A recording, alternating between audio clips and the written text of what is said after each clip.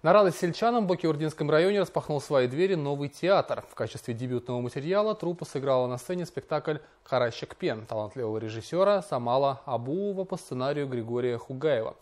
На премьере постановки побывала и наша съемочная группа.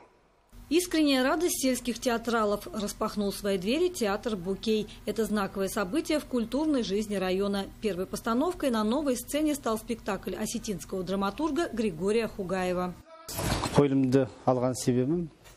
Я выбрал эту постановку, потому что она завоевала главный приз на международном фестивале театров, поэтому мне хотелось, чтобы наши зрители увидели этот спектакль в исполнении местных актеров. Хитросплетение событий и глубокий сюжет не давали заскучать зрителю. В момент катарсиса можно было увидеть все – любовь и ненависть, дружбу и предательство. Набор столь противоречивых образов удалось воссоздать на сцене благодаря талантам режиссера и актерской труппы. Театр жанрында ойнау Играть в жанре драмы – это очень сложная, но интересная задача. Это большая ответственность перед зрителем. Театр открыли при содействии местного руководства. Была оказана материальная поддержка. Благодаря этому сформировался такой замечательный состав. Премьера спектакля вызвала восторг у пришедших зрителей. Отныне театр станет новым культурным центром в жизни района, убеждены как представители театра, так и сами посетители.